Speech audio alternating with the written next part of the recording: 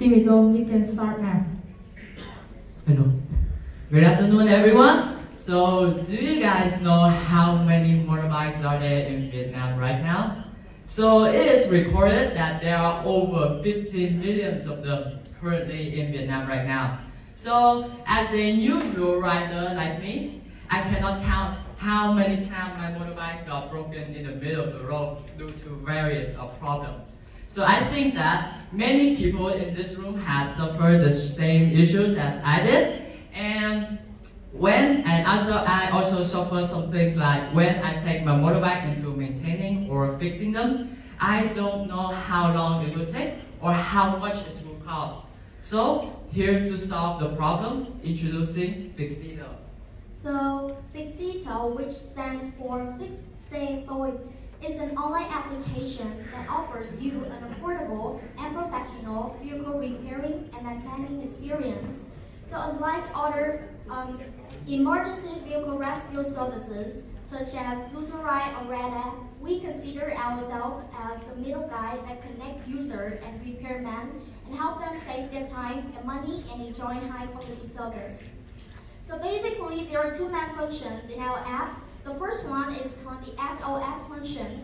So in case your motorbike is totally broken, this function will help you suggest a list of repairing places, include street vendors, and an um, offline store, and show you the detailed directions to get to the place, which means you don't have to worry about where to go. Another function is temporarily called the maintenance function.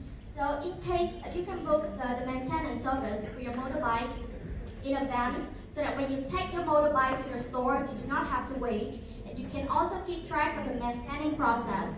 So both functions are integrated with the rating and review system, which means you can check on the credibility of the store. So by the unfair advantage, we are confident to be the first mover in the market, and we believe that we can bring our users a helpful platform as well as our partner an opportunity to attract new customers is more than a service. We aim to sell them the trust.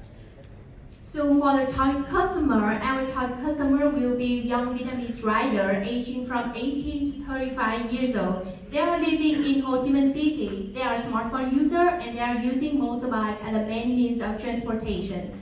So for the market research, we have found that 3 is the average number of vehicle per family and by June 2019, Ho Chi Minh City already got 8.9 million registered motorbike.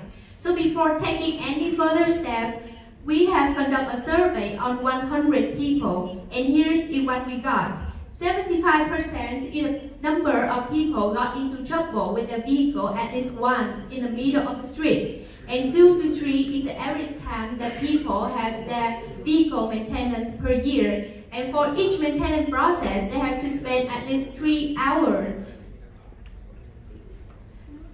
Um, so with that amount of motorbike and the frequency of maintenance process, we have great potential to get huge revenue because the market size is significant. So in terms of finance, we will have two main revenue streams. The first one is a 50% commission of each transaction via our booking system. And the second revenue stream will become from advertising. So we will focus on IT infrastructure. We will always take 20% of the overall cost.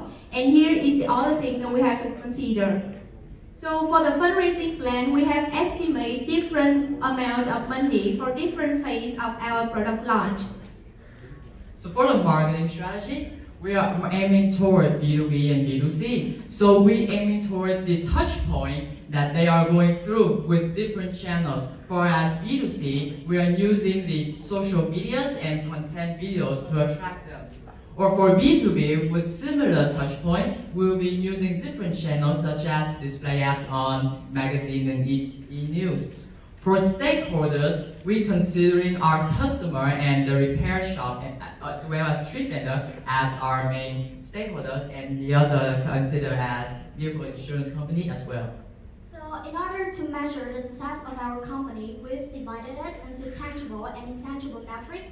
For the tangible one, we'll count on the number of app installation, about booking, rating and review, and for the intangible one, We will measure our users' emotion satisfaction as well as our company reputation.